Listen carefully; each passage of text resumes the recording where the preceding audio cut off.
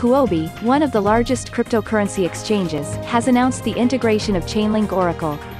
According to the official announcement, Huobi will leverage Chainlink's external adapters to make the Huobi Exchange API available to smart contracts, allowing developers to access price data from Huobi Global, one of the largest and most liquid cryptocurrency exchanges in the world.